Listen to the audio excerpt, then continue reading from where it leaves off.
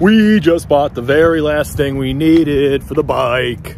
No more money will be spent on this thing for parts. I don't know why I felt the need to sing that.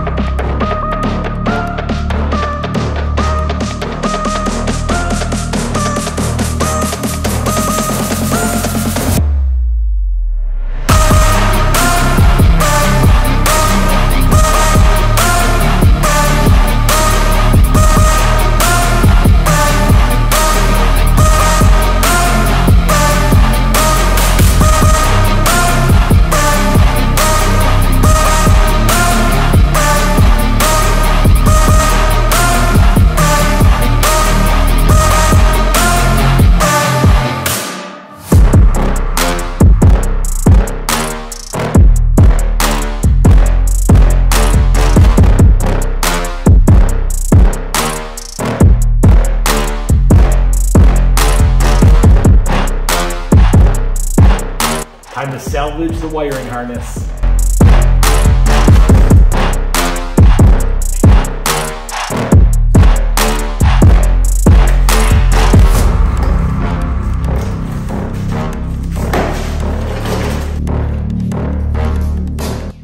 I lost one of my Torx bits. I know you're thinking, Dave, you're so organized. How could you lose anything in this garage? Your guess is as good as mine, friend.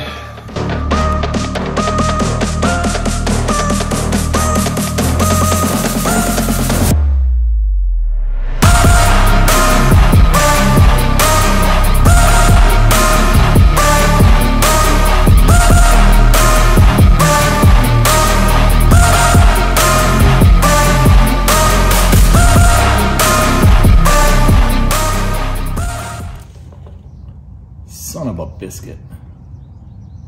Son of a biscuit. I've been watching too much AYO Fishing. Great fishing channel, by the way. Check it out, link below. AYO Fishing, what a character. I blew a fuse, rewiring that front turn signal. I know, I know, I know. Rewiring with the live battery is super risky, but I did so good on the other side. I rolled the dice again and it caught up to me. Let's go get a fuse. I hereby proclaim I will not spend any more money on parts for this bike. Bro, what an idiot I was. Off to get more parts.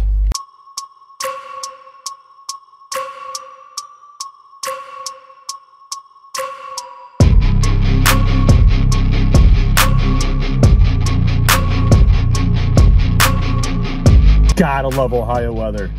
Earlier in the week, snowing. Today, it's gonna be 80. And 80 degrees means I am dying to get on that motorcycle. Few days away. Now, before I sell this bike with a good conscience, I have to test it properly, which means road trip. I'm gonna go full guinea pig and take this thing on a road trip. For a few years now, I've been wanting to do this back roads kind of scenic tour from Northeast Ohio up to Niagara Falls.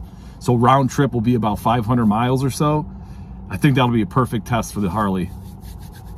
Now the other option I have is to cruise down to the Columbus area. Now it's not quite as far as Niagara, but I have some family down there that I love and I'd love to see and I just don't get to see them enough. So I may cruise down there. I'm just torn. So leave in the comment section below which one you think I should do. Niagara or Columbus? When you get as intense as me, you need eyewear for every occasion. The sun or to go full Poindexter. You got the done! hey, he looks just like you, Poindexter. The truth is, in my advanced age, if I want to read anything smaller than like a 48 font, I need my glasses.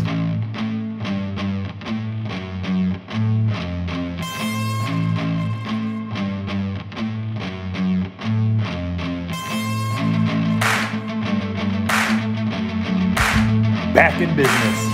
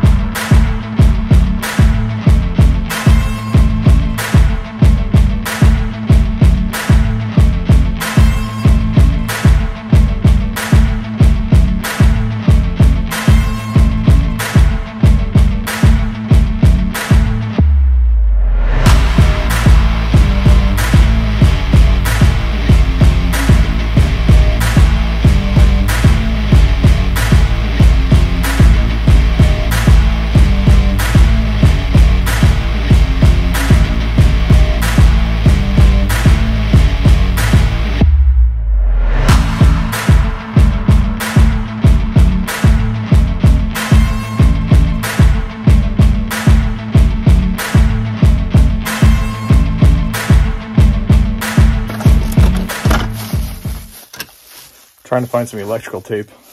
Dave, your garage is so organized. How come your basement's not so organized? I know. Can't find it. Maybe I don't have any. More realistically, maybe I have four rolls buried in here somewhere and I just can't find them. Probably the case.